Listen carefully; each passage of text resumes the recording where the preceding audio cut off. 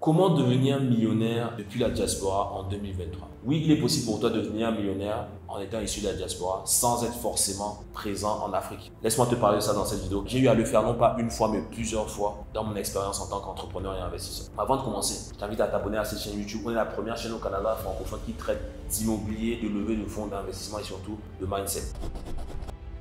Aujourd'hui, on se retrouve dans mes bureaux à Douala au Cameroun, Quantum Empire, pour vous servir. On va parler du coup d'investissement, d'entrepreneuriat et de comment devenir millionnaire. Aujourd'hui, c'est simple de devenir millionnaire, surtout si tu es issu de la.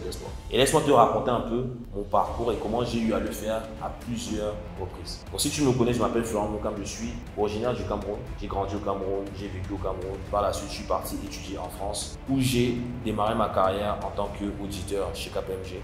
En parallèle de ça, j'ai démarré l'investissement immobilier comme toi, j'ai regardé des vidéos sur YouTube pour savoir comment investir, comment entreprendre, comment gagner plus d'argent. Car c'est pas avec un salaire cadre en France que je pourrais me bâtir une fortune et mettre en sécurité ma famille. Donc c'est la raison pour laquelle je me suis lancé dans l'investissement immobilier. Par la suite, j'ai immigré au Canada où je me suis spécialisé notamment en levée de fonds en crédit.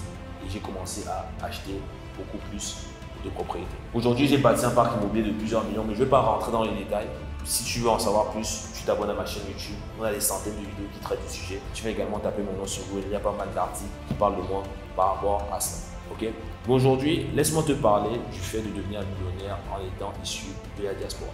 On va dire que voilà, tu termines tes études, n'importe quel type d'études. On va même dire que tu commences à toucher le SMIC, qui est le salaire minimum. Ok? Avec le SMIC, on va dire que tu travailles au McDonald's. Il est possible pour toi de devenir millionnaire en 10 ans, très facilement.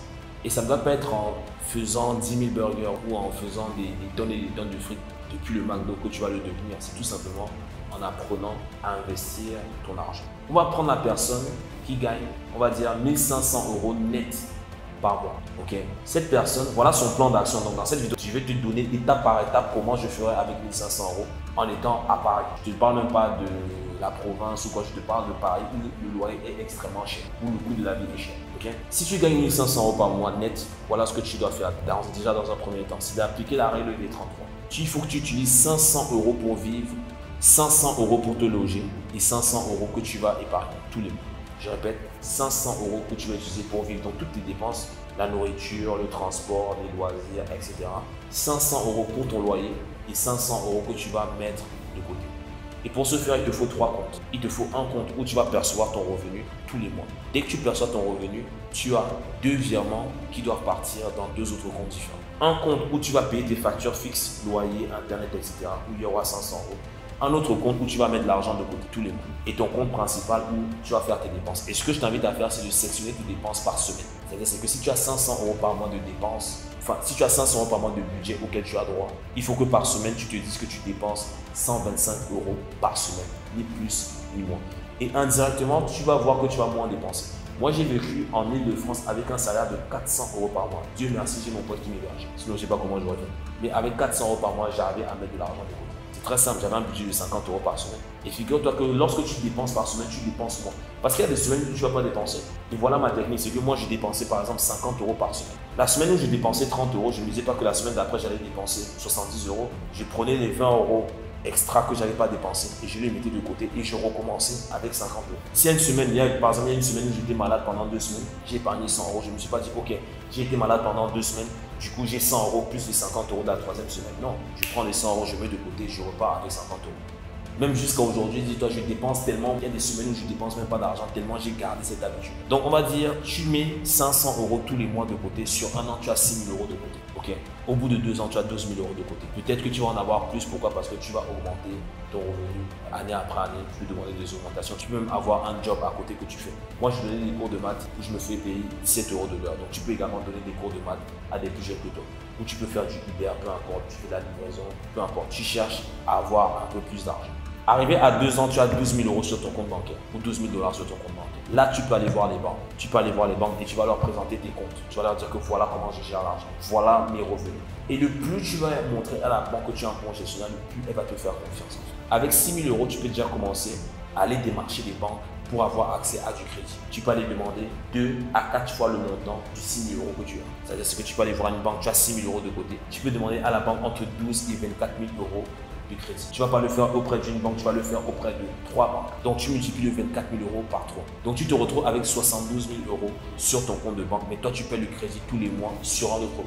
72 000 euros sur ton compte de banque, là tu vas voir la banque en disant, mesdames et messieurs, je souhaite investir en immobilier. Bien évidemment, entre-temps, tu viendras me voir pour que je t'apprenne comment investir en immobilier. Donc tu te retrouves avec 72 000 euros. Avec 72 000 euros, tu peux faire beaucoup de choses. Pourquoi? Parce que là, la banque va commencer à te faire confiance. Et avec, en ayant 72 000 euros, tu vas pouvoir bah, négocier avec les banques pour qu'elles te financent la quasi-totalité du bien. Si ce n'est que 10%, voire 20% d'apport.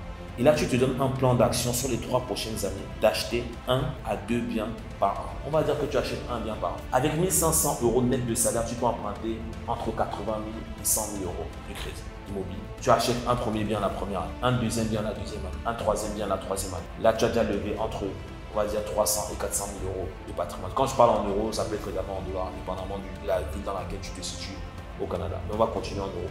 300 000 euros. Là, tu commences déjà à générer des revenus locatifs. Tu commences déjà à te bâtir un patrimoine. Le plan d'action par la suite, c'est d'aller au prochain niveau. Tu vas commencer à créer une société immobilière. En France, c'est une SCI, Société Civile Immobilière. Tu crées une société civile immobilière et tu passes sur du multi-logement. Donc, tu commences à acheter des immeubles. Peut-être tu vas revendre l'un des premiers biens que tu as acheté pour décaisser une plus-value et venir le mettre comme capital pour à nouveau séduire les banques. Tu ouvres une première société immobilière, tu commences à acheter des biens qui valent deux voire trois fois les biens que tu as achetés précédemment. Donc tu commences à monter sur des immeubles de peut-être 300 000 euros à 500 000 Tu fais ça une fois la première année, une deuxième fois la deuxième année. Donc tu es rendu à 300 000 euros à titre personnel de patrimoine immobilier, plus, on va dire, 500 000 euros de patrimoine immobilier à travers ta société immobilière. On est rendu à quoi? On est rendu à 5 ans. Donc à 5 ans, tu as un patrimoine de peut-être 800 000 euros. C'est que tu vas commencer à t'associer avec des partenaires.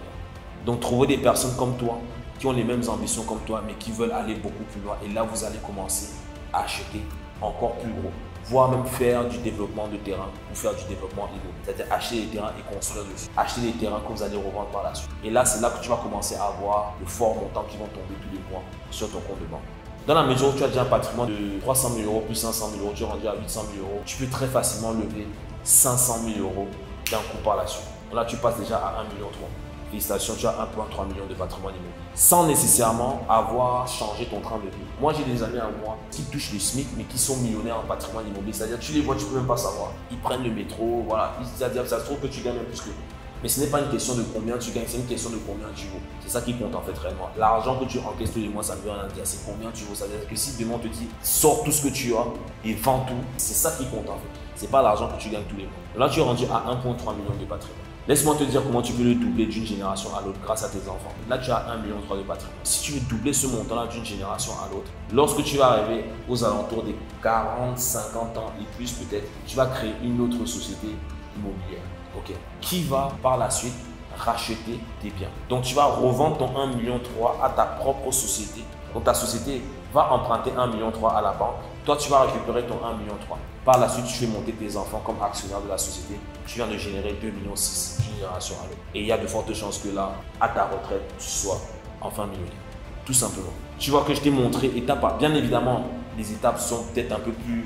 Il y a peut-être plus de détails, il y a peut-être plus de démarches à J'ai vraiment voulu compresser l'information en quelques minutes à travers une vidéo YouTube, mais il y a plus de spécificité, il y a des connaissances à avoir, etc. Mais je t'ai donné étape par étape la logique à suivre. Je récapitule. Tu gagnes 1500 euros par mois net. C'est-à-dire tu es plus ou moins au SMIC. Tu fais la règle des 33. 500 euros pour vivre, 500 euros pour te loger, 500 euros de côté. Au bout de deux ans, tu es rendu à 12 000 euros de côté. Tu vas voir les banques, tu lèves 24 000 euros par banque de crédit. Ça peut être du revolving consommation. Tu es rendu à 72 000 euros. Là, maintenant, tu vas voir les banques et tu commences à acheter un bien par an de l'ordre de 100 000 euros. Avec 1500 euros de salaire, tu peux avoir entre 80 et 100 000 euros de crédit. Tu fais ça une fois par an. 1, 2, 3 ans. Rendu à 3 ans, tu crées une société immobilière à travers laquelle tu vas chercher des biens de l'ordre de 200 000 euros, 300 000 euros. Donc on va dire tu achètes deux biens à 300 000 euros.